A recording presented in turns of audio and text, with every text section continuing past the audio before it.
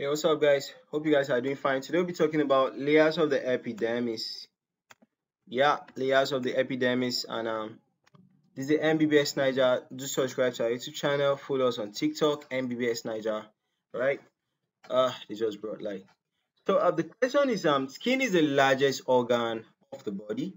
It is made up of epidermis and the dermis. So now list five layers of the epidermis from deep to superficial and name five derivatives of e epidermis, right? So this is the epidermis, and um, these are the layers. Um, so my mnemonics for remembering um, the layers of the epidermis is um, um, come, let's get some babes.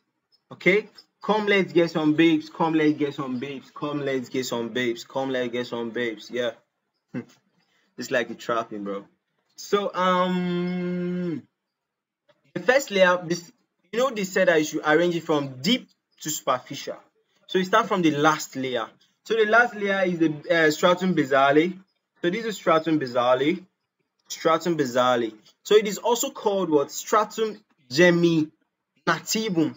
This is the deepest layer and attaches the epidermis to the basal lamina below which lie the layer of the dermis. So it is the last layer of the epidermis though. So after it you see the dermis, all right?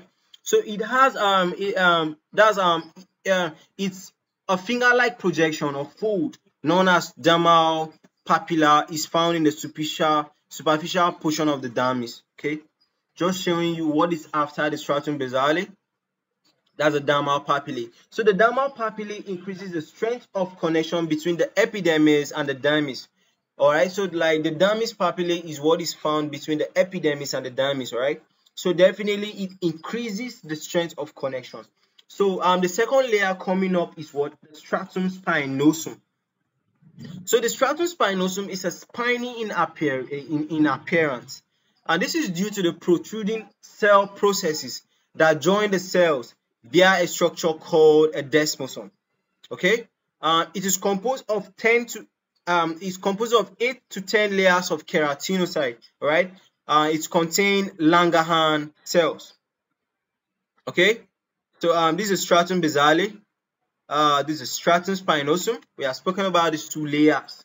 Uh, going up again, we have the stratum granulosum. Uh, it has a grimy appearance, right? As a granulosum, grimy and this is due to further changes to the keratinocyte as they are pushed from the stratum spinosum. They generate keratin, which is fibrous, and, and keratohyalin, which accumulates as what lamellar granules within the cells. And the stratum lucidum um, is smooth, um, seemingly uh, translucent layers of the epidermis. It is located just above the stratum granulosum and below the stratum corneum. Now, this layer of cell is found only in the thick skin of the palm and um, the digits, okay?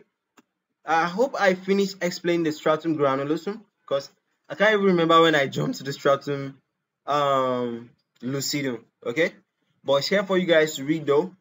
So um, the last layer is the stratum corneum right guys you should note that um, the stratum lucidum is only found in areas of thick skin like the the soles of your palm sorry uh the palms of your your, your hand and the soles of your leg uh, your your your your this thing, your foot okay? So how about the stratum corneum? This is the most superficial layer of the epidermis and it is the layer exposed to the outside environment all right?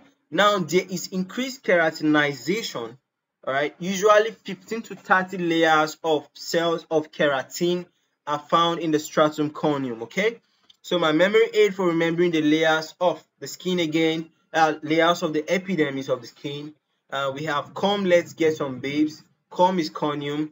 Let is um um lucidum. Um get is um granulosum. Um come let's get some some is spinosum babes is stratum basale okay so um basically the stratum lucidum is not found everywhere except in the palms of the hand and the soles of the foot. But when mentioning the layers of the epidermis, you have to mention it, okay? All right. So these guys, um, this is basically all for this lecture. See you guys in the next tutorial. Bye for now.